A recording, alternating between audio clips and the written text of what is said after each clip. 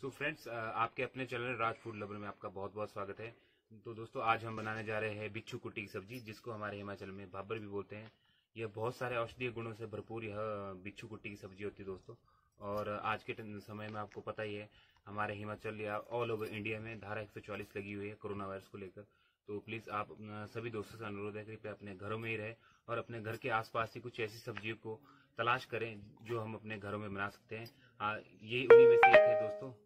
आज मैं बनाने जा रहा हूँ और आपको इसकी विधि भी बताऊँगा आप कैसे इसको अपने घरों में बना सकते हैं। इसका जो ये टॉप का हिस्सा होता है दोस्तों, उसी को निकालते हैं। आप देख सकते हैं इस तरह से।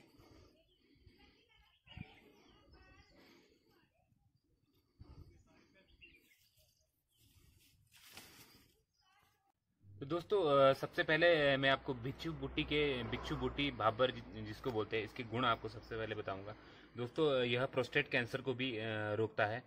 इसके संक्रमण को आगे बढ़ने से रोकता है प्रोस्टेट कैंसर को बिच्छू बूटी जिसके बाल झड़ रहे हो, इसका सेवन अगर करे बिच्छू बूटी का लगातार तो बाल झड़ झड़ने की समस्या से भी निजात पाता है।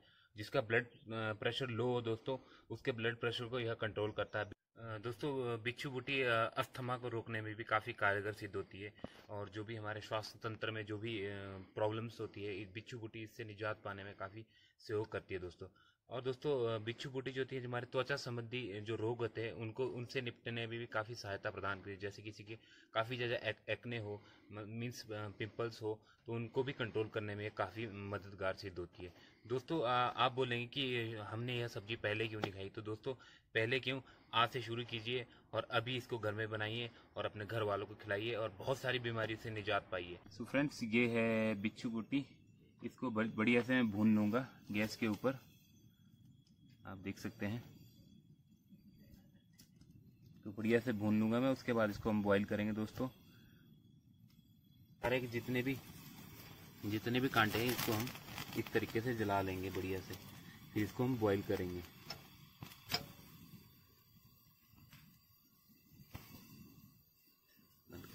तो आप देख सकते हैं दोस्तों, इस तरह से हम इसको बढ़िया से जितने भी इसके कांटे हैं, उनको जला लेंगे। तो फ्रेंड्स आप देख सकते हैं मैंने इसको बॉईल करने के लिए लगा दिया है। लगभग दस से पंद्रह मिनट तक मैं इसको बॉईल करूँगा। उसके बाद जब इसके सारे के सारे कांटे मतलब जो थोड़े बहुत बचे हुए कांटे हैं, वो नरम पड़ जाएँगे। उसके बाद मैं इसको मिक्सी में ग्राइंड करूँगा। दोस्तों, आप इसको ऐसे भी बना सकते हैं बट मैं एक्चुअली पालक पनीर स्टाइल से इसको बनाऊँगा। क्योंकि पालक तो नहीं है तो आज हम इसकी बिच्छू कुटी का बिच्छू कुट्टी पनीर बनाएँगे, जिस बिच्छू कुट्टी बोलते हैं, बिच्छू कुट्टी बोलते हैं। सो so फ्रेंड्स मैंने भाबर जो है, बिच्छू बुटी है, वो मैंने बॉईल करने को रख दिया है कुकर इसका चढ़ा दिया है। जिन देर में दोस्तों ये बॉईल होगा उतनी देर में दोस्तों हम उतनी देर में हम ये मसाला तैयार करेंगे दोस्तों। तो दोस्तों बिच्छू बूटी की सब्ज़ी बनाने के लिए मैंने लिया सरसों का तेल। सरसों का तेल इतना नहीं डालूँगा दोस्तों मैं ओनली चार से पाँच स्पून इसमें सरसों का तेल डालूँगा। और जीरा, साबुत जीरा लिया है, हल्दी ली है, नमक लिया है, साबुत धनिया लिया है और मिक्स मसाले हैं और पाँच छः प्याज लिया है, काफ़ी मात्रा में लहसुन लिया है और साबुत मिर्ची है दोस्तों। और दोस्तों, मैंने थोड़ा सा कॉटेज चीज़ भी लिया है क्योंकि मैं इसको थोड़ा पालक पनीर स्टाइल से बनाऊँगा आप लोगों को और आप अपने घरों में भी इसको बना सकते हैं, बहुत ही ज़बरदस्त और स्वादिष्ट बनेगा।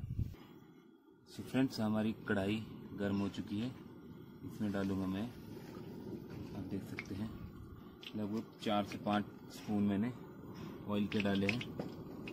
हल्का सा कर इसको थोड़ा तो दोस्तों हम थोड़ी सी जिन देर में हमारा बिच्छू बूटी बॉईल हो रहा है। उतनी देर में हम प्याज की कटिंग कर लेंगे।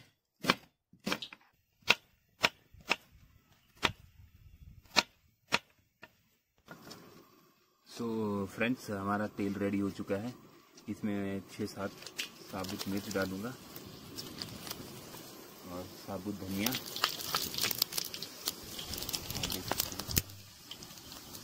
और साबुत धनिया जीरा।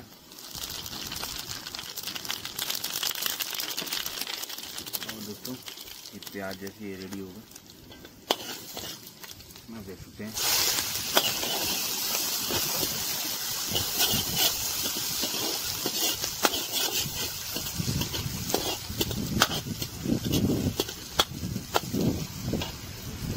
सा प्याज भी पक चुका है, मैं इसमें थोड़ा सा लहसुन भी डाल दूँगा।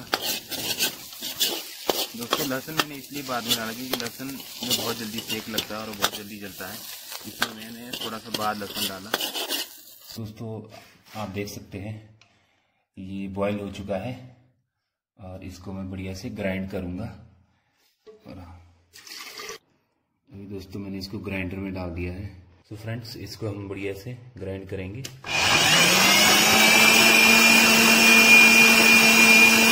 तो फ्रेंड्स हमारा प्याज लगभग पकने वाला थोड़ी सी हम इसमें हल्दी भी डाल देंगे।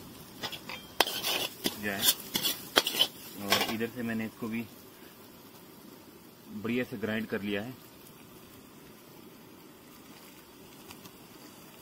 दोस्तों, मैं इसमें थोड़ा सा पनीर भी डालूँगा।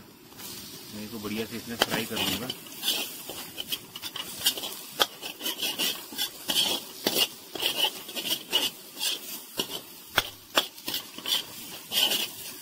तुम्हें अपने घर में ज़रूर ट्राई करना, क्योंकि आजकल आप घर में वेले होंगे, काम नहीं होगा तो अपने घर के आसपास जाएँ, वहाँ से बिच्छू बूटी निकालें और इस डिश को ट्राई करें। नमक भी ऐड करूँगा।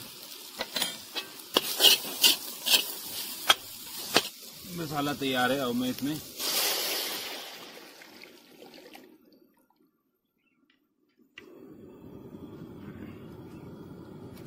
आप देख सकते हैं दोस्तों। इसको दोस्तों लगभग हम 15 मिनट के लिए पकने के लिए छोड़ देंगे। ये मीठी मीठी आँच से पकता रहेगा और फिर आपको इसका जायका टेस्ट कराएँगे। आप देख सकते हैं। थोड़ा सा मिक्स मसाला भी ऐड करेंगे। आप कैसे ज़बरदस्त स्टाइल से पक रहा है। मित्रों अब देख सकते हैं आप, ये बिच्छू बूटी का खजाना रेडी हो चुका है। आप देख ही सकते हैं, आपके मुँह में पानी आ गया होगा। तो दोस्तों, इसको मैं प्लेटिंग करूँगा।